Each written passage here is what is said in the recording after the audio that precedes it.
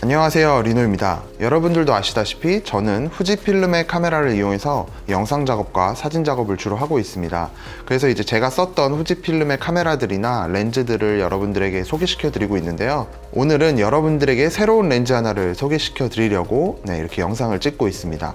오늘 여러분들에게 소개시켜 드릴 렌즈는 네, 얼마 전에 후지필름에서 새롭게 출시한 XF 50mm f1.0 렌즈입니다 네, 사실 이 렌즈를 받기 전에 상당히 떨렸습니다.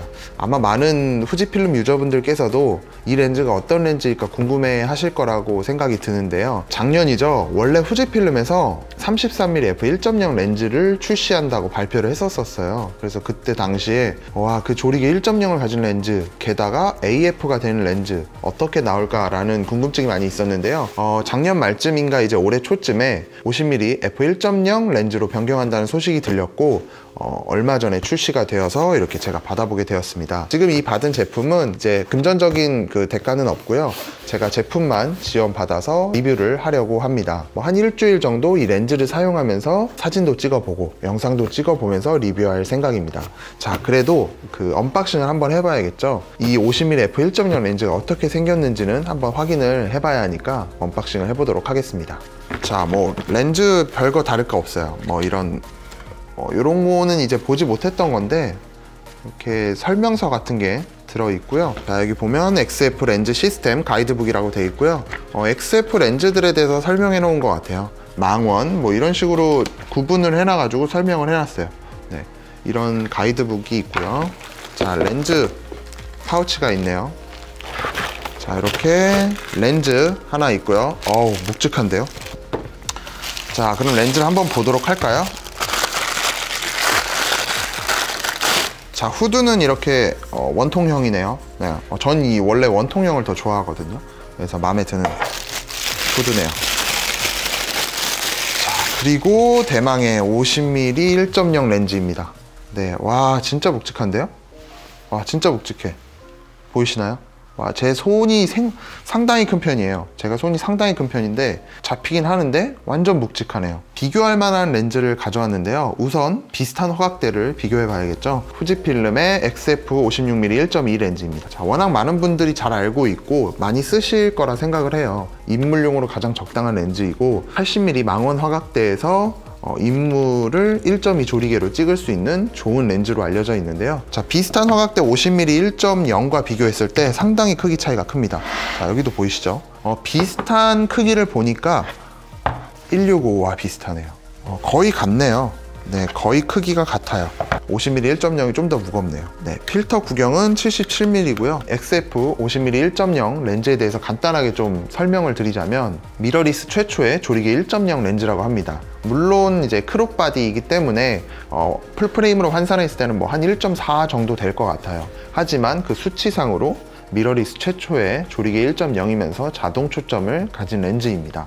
네, full frame으로 환산했을 때는 대략 75mm에서 76mm 정도이고요. 그리고 full frame 화각대에서 뭐 주로 나오는 이제 85mm 1.4 렌즈와 좀 비슷한 화각과 심도라고 보시면 될 것 같습니다. 어, 무게는 보니까 845g 정도 돼요. 그래서 가벼운 무게는 아닌 것 같고요. 근데 제가 요즘 더 무거운 렌즈들을 가지고 사진을 찍다 보니까 사실 들었을 때 그렇게 무겁다는 느낌도 많이 들지는 않았습니다. 네, 그 다음에 물론 방진, 방적 기능 제공하고요. 최소 초점거리는 70cm라서 그렇게 가까운 편은 아니에요. 그래서 아무래도 인물 렌즈이기 때문에 좀 떨어져 가지고 어, 사진을 찍으셔야 할 것 같습니다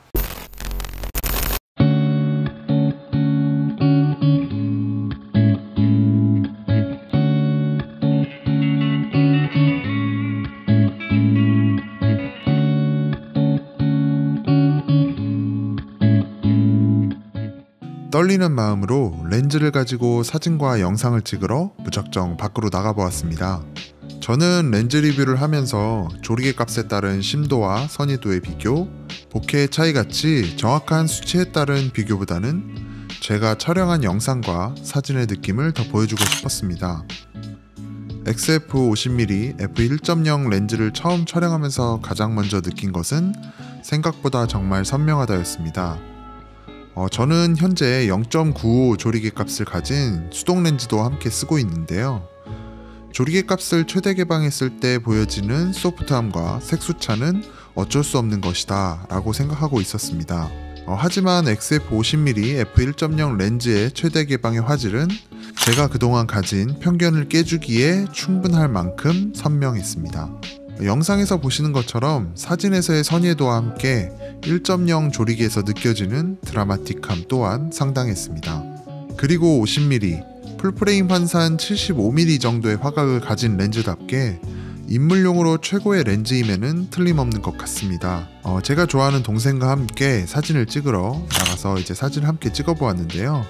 어, 1.0 조리개에서 느껴지는 심도는 full frame에서 느낄 수 있는 공간감을 표현해 주었고 AF 또한 빠르고 정확해서 낮은 조리개 값을 가졌음에도 불구하고 정확하게 인물의 focusing을 맞출 수 있었습니다. 그리고 영상에서도 이 렌즈를 사용해 보았는데요. 사실 저는 영상에서의 성능을 더 기대하고 있었습니다. 과연 영상에서 이 XF50mm f1.0 렌즈는 준수한 AF 성능을 보여줄 것인가, 그리고 영상에서의 화질은 어떨까 하는 기대를 가지고 있었습니다. 결론부터 말씀드리자면 정말 대만족입니다. 오히려 사진보다 영상에서 저는 더 큰 만족감을 느꼈습니다. 후지필름 X-T4의 손떨반 기능은 XF50mm f1.0 렌즈가 가진 얕은 심도를 잘 표현해 주었고 그리고 초점 또한 잘 잡아 주었습니다. 그리고 1.0의 조리기에서 느껴지는 드라마틱함 또한 영상을 찍으시는 분들에게 어, 매력을 어필할 수 있는 부분이라는 생각이 들었습니다.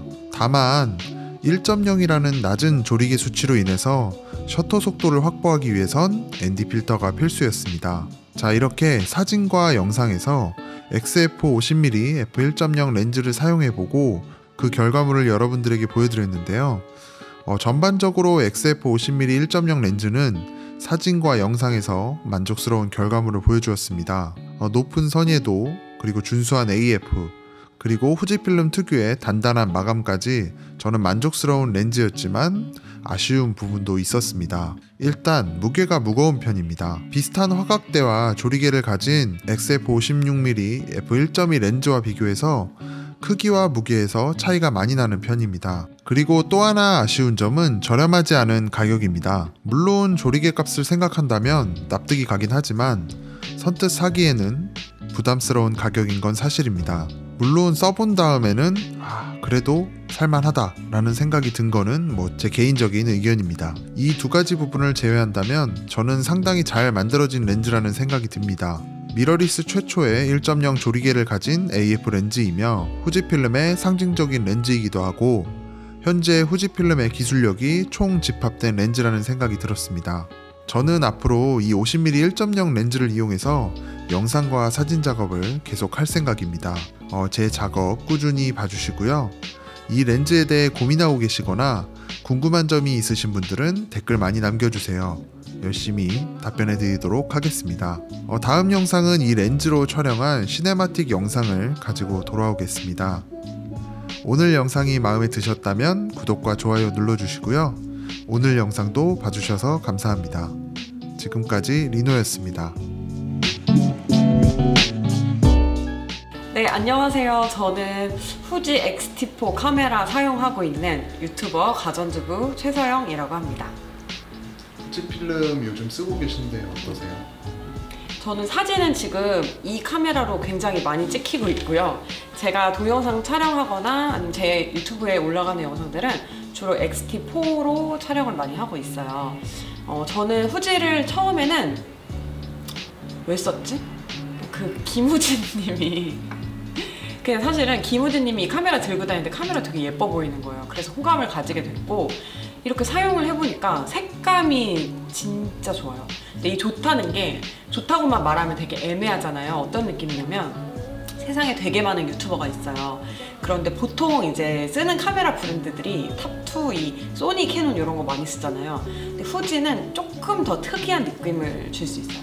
그래서 후지만의 어떤 그런 감성? 느낌? 깊이감? 이런 게 있어가지고 좀 다른 사람 영상이랑 차별된다는 점이 되게 장점이에요. 그리고 저는 XT4로 영상 촬영한 다음에 음, 뭐 거기에 이제 필름 시뮬레이션이 되게 여러 가지가 있지만 어쨌든 뭐 그거를 쓰면서 다른 색 보정 같은 거는 거의 안 하고 있어요. 그래서 오히려 영상 편집할 때 좀 시간이 줄어드는 면도 있습니다.